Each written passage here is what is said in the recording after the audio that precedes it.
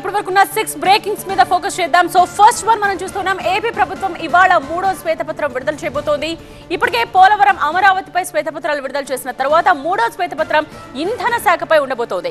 గత ప్రభుత్వం ఇంధన శాఖను నిర్వీర్యం చేసిన తీరును ఏపీ ప్రభుత్వం వివరించబోతోంది. ఇక సెకండ్ బ్రేకింగ్ మనం చూడొచ్చు. దివంగత సీఎం వైఎస్ రాజశేఖర రెడ్డి డెబ్బై జయంతి సందర్భంగా ఆయన కుటుంబ సభ్యులు ఇడుపులపాయలో నివాళులర్పించారు. తన కొడుకు జగన్ కోడల భారతితో కలిసి విజయలక్ష్మి నివాళులర్పించారు. వైఎస్ జయంతి సందర్భంగా ప్రత్యేక ప్రార్థనలు నిర్వహించారు. ఇక థర్డ్ బ్రేకింగ్ మనం చూస్తున్నాం. తెలంగాణలో ఎమ్మెల్యేల అనర్హత పిటిషన్పై ఇవాళ హైకోర్టు విచారణ చేపడుతుంది. దానం కడియం తెల్లం వెంకట్రావుపై బీఆర్ఎస్ పిటిషన్ దాఖలు చేసింది. ఈ ముగ్గురు ఎమ్మెల్యేలపై అనర్హత వేటు వేయాలని బీఆర్ఎస్ కోరుతోంది. ఇక ఫోర్త్ బ్రేకింగ్ మనం చూస్తూ ఉన్నాం.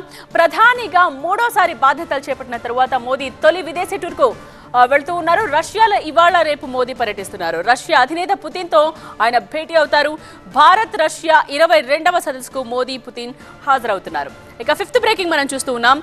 నీట్ యూజీ వివాదంపై దాఖలైన ఇరవై ఆరు పిటిషన్లపై ఇవాళ సుప్రీంకోర్టు విచారణ చేపడుతోంది.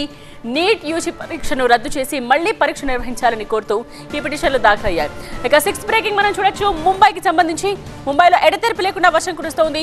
లోతట్టు ప్రాంతాలు జలమయమయ్యాయి. ముంబైలో ముప్పై సెంటీమీటర్ల వర్షపాతం నమోదైంది. దీంతో బీఎంసీ అధికారులు సహాయక చర్యల్ని ముమ్మరం చేశారు. ఇక ఉత్తరాఖండ్కు ఐఎండీ రెడ్ అలర్ట్ జారీ చేసింది. ఇప్పటికే నదులు ఉప్పొంగి ప్రవహిస్తున్నాయి. భారీ వర్షాలతో చార్ధామ్ యాత్రను నిలిపివేశారు.